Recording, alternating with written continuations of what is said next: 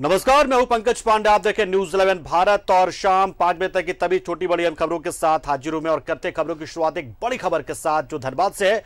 लाला घनता कांड में साजिशकर्ता के रूप में मुरहुम पप्पू चालक पाचक के भाई मिस्टर खान और राजू झारी का नाम सामने आया है। इस मामले को लेकर इन पर रंगदारी के लिए लाला खान की हत्या कराने का आरोप लगा है जिसे लेकर लाला खान के परिजनों ने प्राथमिकी दर्ज कराई है। वहीं मामले में एसपी ने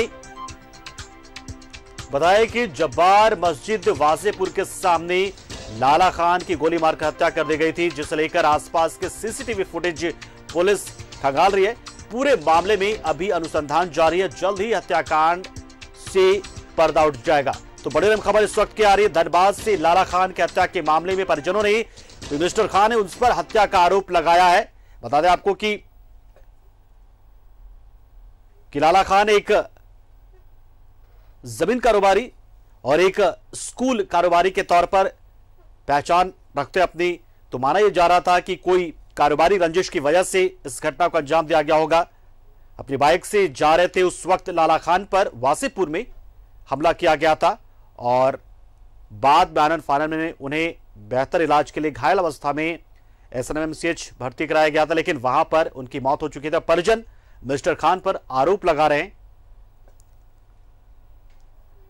एसपी ने जानकारी दी कि इस मामले की तफ्तीश बहुत तेज़ी से की जा रही है, क्योंकि धनबाद में ऐसी घटना दिन दहाड़े जिसमें हत्या कर दी जाती है, ये किसी भी सूरत में मंजूर नहीं है। अपराधियों के हौसले इस कदर मज़बूत नहीं होने दिए जाएँगे। उनके फन को कुचला जाएगा, हौसलों को निस्तनाबूद किया जाएगा, अपराधियों को पकड़ा जाएगा। तो ऐसी पूरी कोशिश इस वक्त चल रही है पुलिस की ओर से। एसपी ने कहा कि फ़िलहाल पुलिस की टीम आसपास के तमाम सीसीटीवी फुटेज को खंगाल रही है। हालाँकि इस बीच परिजनों ने मिस्टर खान पर हत्या का आरोप लगाया है। ज़मीन कारोबारी लाला खान का हत्या का ये मामला, उससे जुड़ी हम खबर, उससे जुड़ा अपडेट हम आपको दे रहे हैं फ़िलहाल इस वक्त धनबाद से।